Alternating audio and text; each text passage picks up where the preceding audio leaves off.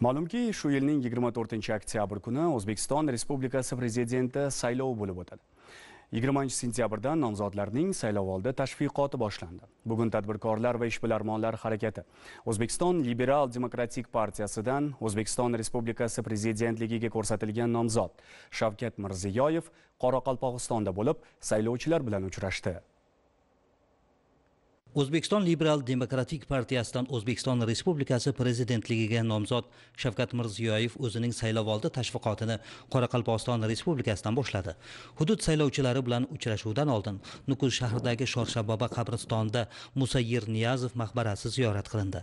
Qadamjoda o'tganlar haqiga qur'on tilovat etildi. Shavkat mirziyoyev shu yerda musa yerniyazovning oila a'zolari bilan uchrashdi. Ma'lumki musa yerniyazov ko'p yillar qoraqalpog'iston jo'qorg'i kengashi raisi lavozimida ishlagan. O'zbekiston respublikasi oliy majlisi senati raisining o'rinbosari o'zbekiston qahramoni bo'lgan. O'zbekiston respublikasi prezidentining ko'rsatmasiga muvofiq marhum xotirasiga maqbara barpo etildi. Bugun bu joy obod ziyoratgohlardan biriga aylangan.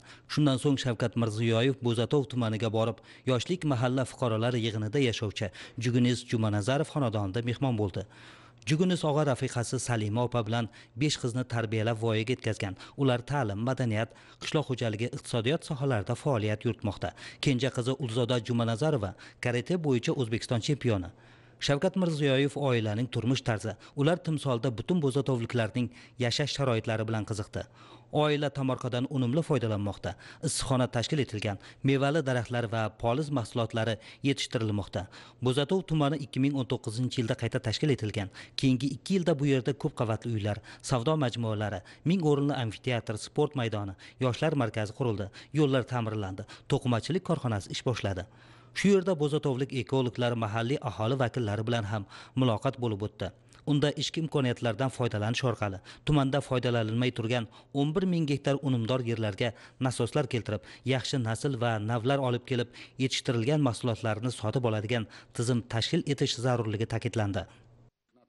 Tadbirkorlar va ishbilarmonlar harakati. O'zbekiston liberal demokratik partiyasidan o'zbekiston respublikasi prezidentligiga nomzod shavkat mirziyoyev shu kuni bo'zatov tumanida qoraqalpog'iston respublikasi saylovchilari bilan uchrashdi. Uchrashuvni nomzodning qoraqalpog'iston respublikasi bo'yicha ishonchli vakili abadbay daniyorov ochdi. Video konferensiya shaklidagi muloqotda hududdagi barcha tumanlardan studiyalar bog'landi. O'zbekiston respublikasi prezidentligiga nomzod shavkat mirziyoyev o'zining saylovoldi dasturi yuzasidan ma'ruza qildi. Mani juda katta istaklarim niyatlarim borki shu qoraqalpog'istonda erishilgan besh yildagi hamma masalalarimizni ikki uch karra ko'paytirish odamlarni rozi qilish uchun hamma soha bo'yicha imkoniyatimiz bor besh yillik tajribamiz bor moliyamiz bor. Odamlarni dunyoqarashi o'zgargan. Umidlari katta. Bugun mana sizlar bilan ham shu uchrashuvimizni eng katta mani maqsad muddaom rejalarimizni to'g'ri qilsak bajarish oson bo'ladi. Xalqni dardi bilan reja qilsak xudo taolo ham bizga yordam beradi. Saylovoldi uchrashuvlarini eng avvalo qoraqalpog'iston diyoridan boshlaganim albatta bejiz emas ilgari ham aytganman. Bugun ham yana bir marta mamnuniyat bilan aytmoqchiman va takrorlamoqchiman men o'zimni qoraqalpoq xalqini ham farzandi deb bilaman.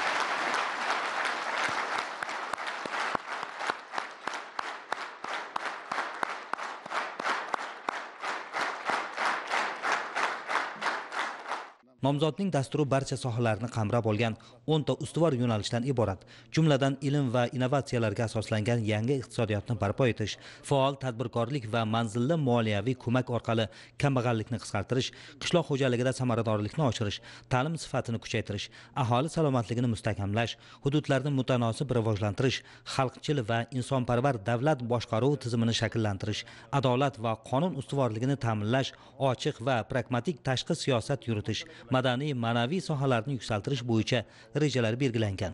Oxirgi besh yilda qoraqalpog'istonda yuz bergan o'zgarishlar qayd etildi. Xususan sanoat xizmat ko'rsatish va qishloq xo'jaligi sohalarida umumiy qiymati ikki milliard dollardan ziyod ikki ming besh yuzta investitsiya loyihasi amalga oshirilgan. Hali katta katta investor qoraqalpog'istonga kelgani yo'q. Qachon investor keladi? Bilasizlarmi bitta man sizlarga oddiy adolatli haqiqatni aytmoqchiman. Manman degan investor kelib prezident hokim bilan gaplashadi to'g'ri. Lekin mani oldimdan hokimlarni oldidan chiqib borib investor bilan gaplashadi. Agar u investor aytsa sharoit yaxshi korrupsiya yo'q byurokratiya yo'q adolat mavjud qoraqalpog'istonda desa u investor albatta o'zini sarmoyasini olib kiradi. Qaysi rayonda hokimi o'zi shu investitsion muhitni tashkil qilolsa o'sha yerda ko'proq odamlar bizdan rozi bo'ladi. Qoraqalpog'istonda dunyo bilish kerak endi. Agar dunyo bilib zamonaviy mahsulot chiqarish yo'lga qo'ysak o'shanda qoraqalpog'iston iqtisodiyoti raqobatbardosh bo'ladi.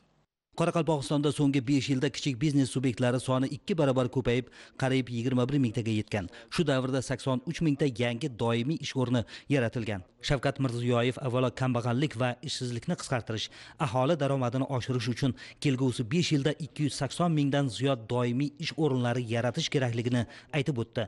Umuman qoraqalpog'istonda kambag'allikni 3 barobarga qisqartirish iqtisodiy idoralar oldidagi eng ustuvor vazifalardan biri bo'lishi ko'zda tutilgan. Buning uchun islohotlarni har bir mahallagacha olib kiradigan yangi tizim joriy qilinadi.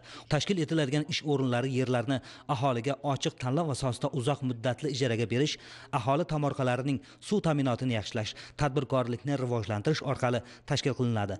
Elektr tabiiy gaz suv va yo'l masalalariga alohida e'tibor qaratiladi. Kelgusi yillarda kamida 45 ta yangi kichik sanoat zonasi barpo etiladi. Shuningdek yirik mega loyihalar ham ro'yobga chiqariladi. Prezidentlikka nomzod bu boradagi ishlarni yanada kengaytirish qoraqalpog'istonda innovatsion loyihalarni amalga oshirishga faol investitsiyalarni hamda xalqaro hamjamiyat e'tiborini jalb qilish maqsadida 2022 yil sentyabr oyida orolbo'yi xalqaro forumini o'tkazishni taklif qildi. Saylovoldi dasturida turizm infratuzilmasini rivojlantirishga yangicha yondashuv qayd etildi. Nukus shahrida nukus city qurilishi belgilangan. Qishloq va suv xo'jaligini rivojlantirish orqali 70 mingta ish o'rni yaratiladi va mahsulotlar hajmi ikki barobarga oshiriladi. Suvdan foydalanish samaradorligini oshirish orqali yiliga 2 milliard kub metr suvni tejashga erishiladi. Ekologiya va aholi salomatligini saqlash bo'yicha ham keng ko'lamli ishlar amalga oshirilishi ko'zda tutilgan. Masalan xalqaro standartlarga to'liq javob beradigan 175 o'rinli zamonaviy onkologiya markazi tashkil etiladi. Kelgusi 5 yilda orolning qurigan hududida yana 1 million gektar o'rmonzor va butazorlar yaratiladi. Galdagi muhim yo'nalishga muvofiq aholi va tadbirkorlik uchun qulay infratuzilma yaratiladi. Kelgusi 5 yilda markazlashgan tarmoqlar orqali toza ichimlik suvi bilan ta'minlash darajasi 65 foizdan 90 foizga yetkaziladi. Mana shu davr ichida jami 22 ming kvartirali 730 ta ko'p qavatli uylar quriladi. Bu oldingi yillarga nisbatan qariyb 2 barobar ko'p miqdorni tashkil qiladi. Obod qishloq va obod mahalla dasturlari doirasidagi tizimli ishlar davom ettiriladi. Shuningdek hududda 5 ming kilometr yo'llar quriladi va ta'mirlanadi. 370 ta ko'prik to'liq ta'mirlanadi. Amudaryoning ikki sohilini bog'laydigan 412 metr uzunlikdagi yangi barpo etilayotgan ko'prik qoraqalpog'iston va xorazm iqtisodiyoti uchun ham aholi uchun ham katta qulayliklar yaratadi. Amudaryo tumanida yangi temir yo'l vokzali quriladi. Shuningdek qo'ng'irot to'rtko'l va xo'jayli vokzallari rekonstruksiya qilinadi. Kelgusi 5 yilda maktabgacha ta'lim qamrov darajasi 71 foizdan 87 foizga yetkaziladi. Bundan tashqari 55 ta yangi maktab 187 ta maktab uchun qo'shimcha o'quv binolari quriladi. 135 ta maktablar kapital ta'mirlanadi va to'liq jihozlanadi. Oliy ta'lim bilan qamrab olish darajasi esa 50 foizga yetkaziladi. Buning uchun qoraqalpog'istonda mamlakatimizdagi 5 ta nufuzli oliygoh va xorijiy universitetlarning filiallari tashkil etiladi. Talabalarni turar joy bilan ta'minlash maqsadida qo'shimcha 6000 o'rinli yangi yotoqxonalar qurib bitkaziladi. Nukus shahrida ilm fan madaniyat va san'at adabiyot sohalaridagi eng sara namunalar jamlangan zamonaviy jihozlangan berdax nomidagi qoraqalpoq milliy kutubxonasi barpo etiladi. Biz saylovoldi dasturimizdan o'rin olgan har bir masala haqida chuqur va atroflicha fikr yuritib puxta tahlil qilib ularni ro'yobga chiqarishning aniq choralarini belgilab olganmiz.